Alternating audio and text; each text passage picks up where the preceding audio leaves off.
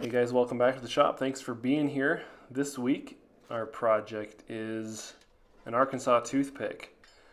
Talk more about that in a minute, but I'm using some 80 CRV2 steel for part of this blade here. And this is going to be what we're calling a power core blade, which means there's a center piece of pattern welded Damascus steel forge welded into the blade. So pretty cool. And uh, this 80 CRV2 here, it's the stock is 3 eighths by 1 inch, I believe. Closest thing I could get to a square bar, so I have to work it down a little bit here for our intended purpose.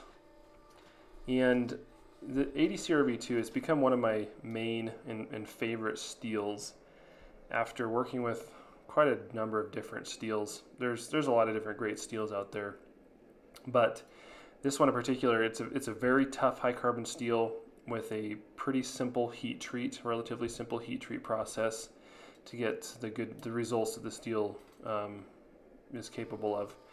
Yeah, just super tough, super tough. It's got about 0.8% carbon in it, and then a little bit of chromium and a little bit of vanadium. So it's, it's great stuff. This uh, piece here I'm forging down is a bar of pattern welded or Damascus steel that I forged over a year ago and it is a 400 layer twist pattern made from 1084 and 15N20. So this is going to be the power core uh, piece in our blade here. And I actually kind of forgot what I was doing when I forged this down. Um, I, I, wanted to uh, make the ratio of the steels in this blade such that the in the finished blade the power core would be more prominent. And to do that, I, I should have forged the Damascus about one inch wide and a half inch thick instead of into a square bar of half inch like I did the outside pieces. Uh, this is only the second time I've done this power core technique. Uh, the first one, if you watch the video, was on a little Puukko style blade where we used uh, uh, cable Damascus as the power core. So learned a lot from that and trying to apply some of that to this. And I'm sure the next, the third time I do this, it'll, I'll, you know, be able to apply even more. But anyway, still still going to turn out really cool, but uh, just kind of experimenting with, you know, the the ratio of steels, you know, for the for the desired finished product and stuff. It's just that's kind of the fun part, I guess, is learning learning all this stuff as you go. So prep those bars for the forge welder, uh, about four and a quarter inches long here, and uh, clean those surfaces off, stack them together, and uh, get ready to forge weld them, forge weld them together.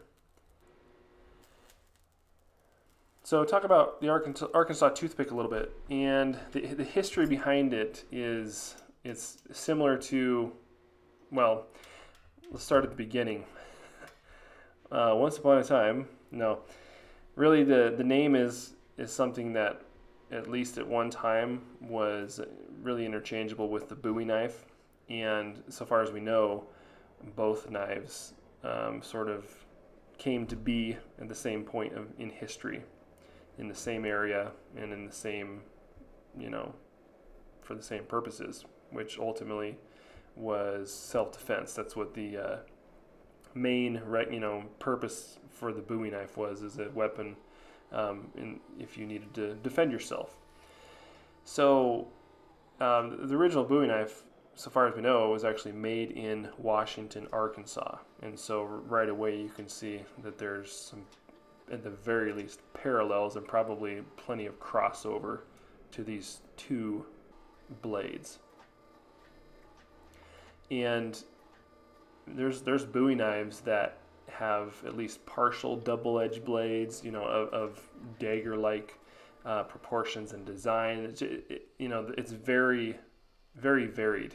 Um, the, the name Bowie knife itself is not something that can be applied to any specific design of knife, and that's from the original era, you know, not just over time.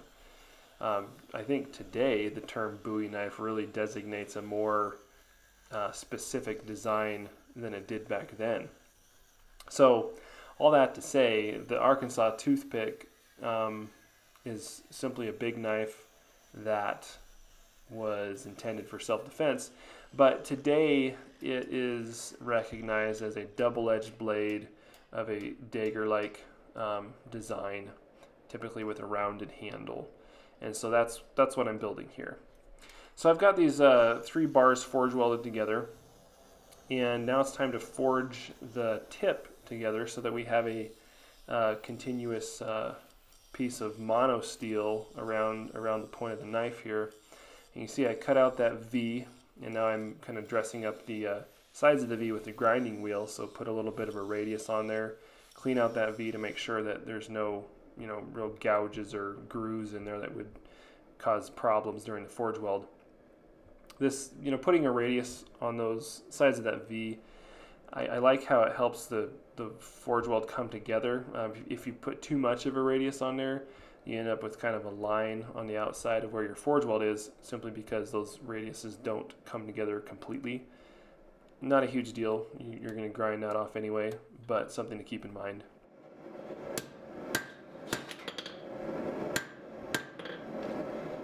So as always, it's really important to make sure you use plenty of flux on an open atmosphere forge weld like this. But really it is kind of the best case scenario because the way we're doing this is as we close that V up, it's um, very efficiently forcing out any impurities and, and flux, uh, molten scale, etc. as we as we squish it together. So it's uh, it's really not that hard to accomplish this. But uh, you know, it takes several heats, at least it does for me, to get that completely closed up and keeping the steel clean in between. First time I did this on that other little knife, I was using stock that was too thin, and it was probably I don't know 3 16ths thick.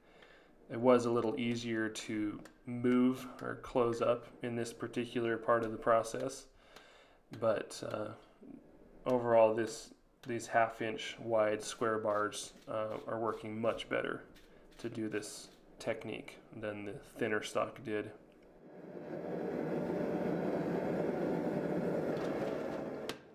So essentially what I'm doing here is using the angle of my workpiece here in conjunction with the anvil and then the angle of my hammer to apply that force sort of at at an angle so that we're you know, creating a, a point instead of hammering directly or straight down, that's not putting the force um, against the side of that forge weld like you want to. So that's sort of the technique I'm using here. Trying to get that closed up all the way down to the end here. The very tip didn't forge weld together, which is kind of par for the course. Um, you know, so thin right there at the end that they cool off real quickly coming out of the forge.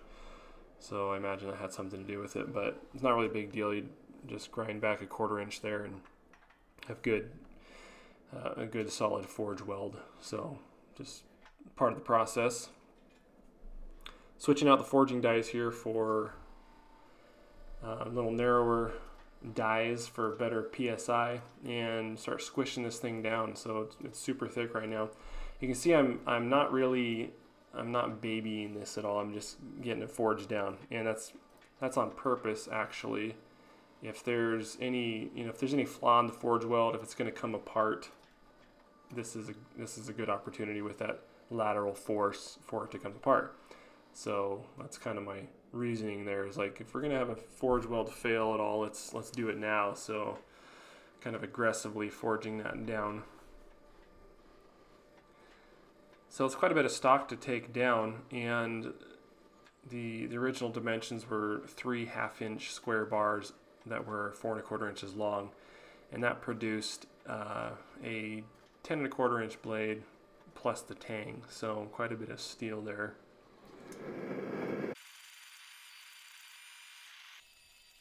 Working the taper in and then the tang. So the the typical or ubiquitous Arkansas toothpick design that we know today has a stick tang and usually like a rounded handle. So I'm, I'm doing the, the stick tang like, like so. And I'm not sure exactly what I'm doing on the handle yet. We'll see what happens.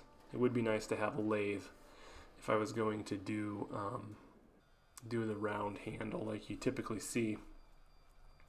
So just get everything flattened down here and uh, taper on the tang and then uh, forging down the corners as well so it's we don't have any sharp uh, um, angles on it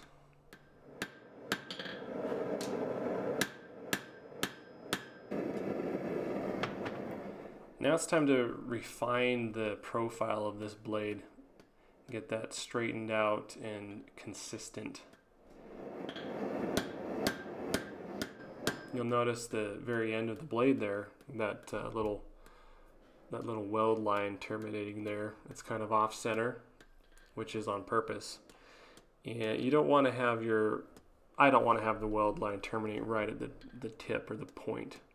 Um, so I'm, I'm really paying attention to that here. And um, I've right here, I have ground off the very end of that weld back to black, back to the solid weld here and then I'm uh, moving that over even some more and we'll grind that uh, little tail off re reposition the point of our blade and that will orient that uh, weld line termination back off the back away from the point of the blade. You know this is the best case scenario keeping it away from the very tip.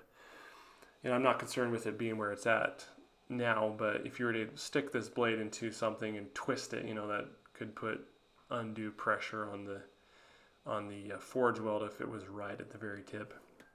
So I did a I did a profile forging on the blade and thought I was done. And then I got to thinking, as you know, there's this is really thick still, you know, about 5 sixteenths probably. And um, I was kind of worried about, you know, moving moving stuff around too much kind of like when you make a laminate blade, but this isn't a laminate blade. So thinking about it a little more and then decided, you know, I want a wider blade because this is still a little bit narrow for the, um, the, the, the accepted design of an Arkansas toothpick. So I want a little wider and we got all this material here and I want to just grind it off. So let's forge in the bevels. So that's what I did. And turned out pretty good um, you'll notice that as you're forging, you have to you need to forge equally on all four sides. If you don't, you're going to end up with like a corkscrew, pretty messed up critter. So, um, yeah, it's just a consistent forging on all four sides and, and working those bevels in. But um, got that done and just trying to keep everything straight and even as possible going into the heat treating. And you'll notice there's no rough grinding. I didn't do any rough grinding. I, I Instead, I forged down to the thickness that I wanted, you know, pre-heat treat.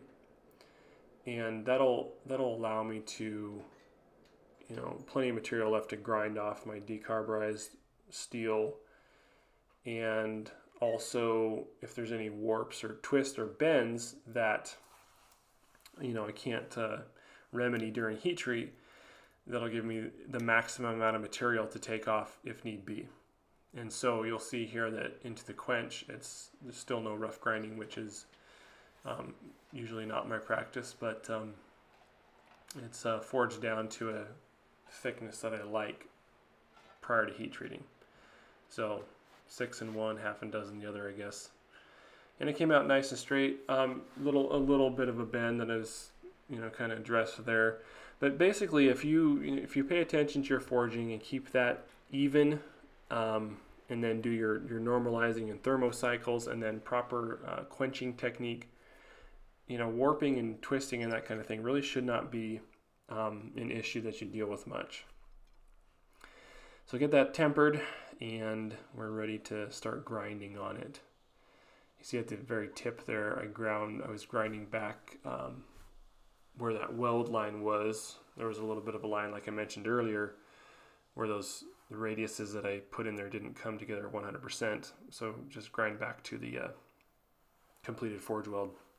Right here, I'm just uh, kind of evening everything up, getting getting it consistent. I'm still a long ways from the finished um, dimensions and, and, edge thickness, certainly, but uh, get everything kind of consistent, and then I can come in and um, grind in my blade profile before I actually start grinding the bevels. You kind of need to have that, you know, your profile established before you do the bevels because you're working off of the profile to determine where the center line or the ridge line of the double edge blade is at. So that's, that's kind of important.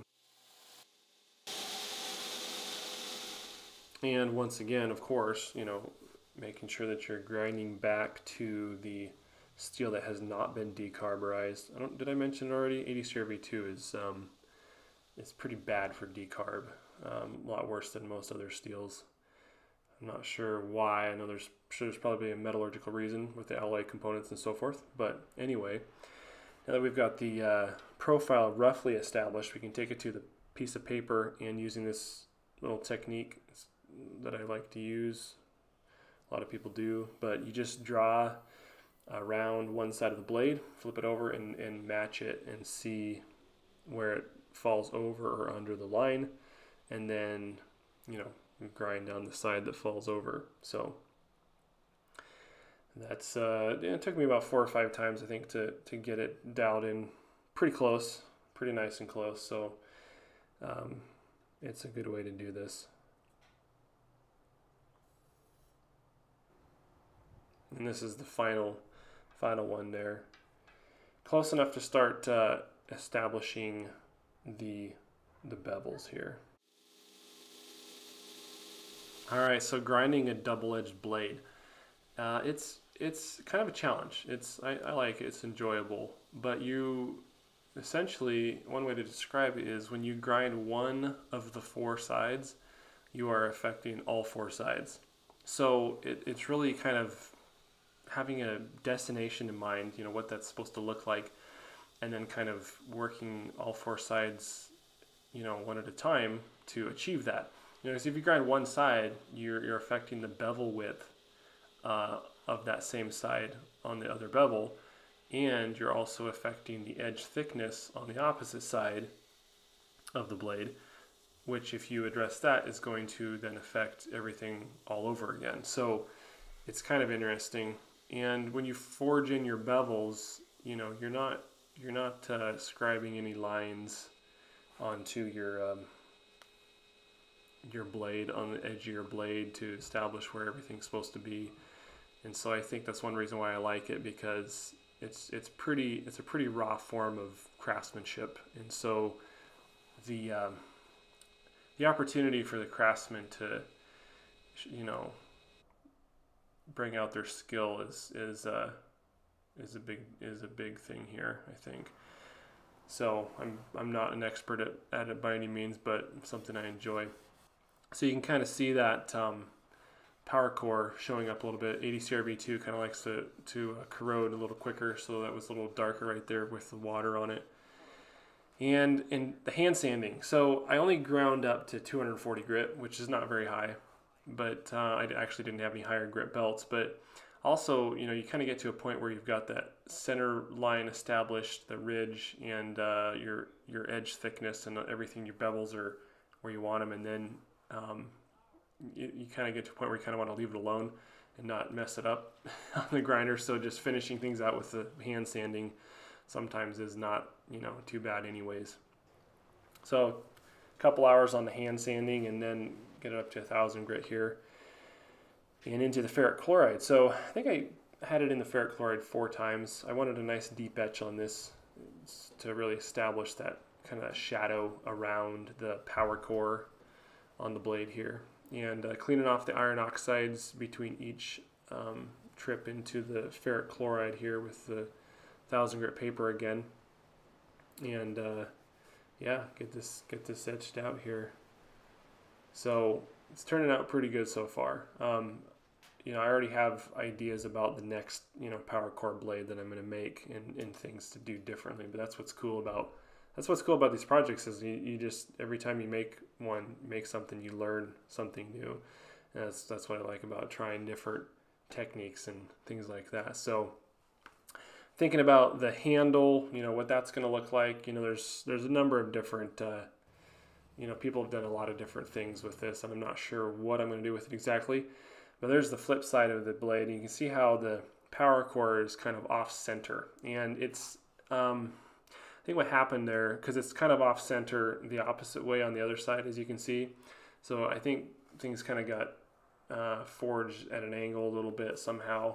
Um, not exactly sure, but it's uh, it's turning out pretty cool. So I'm excited for the next episode, and I hope you guys are too. As always, appreciate you watching. We'll see you on the next video.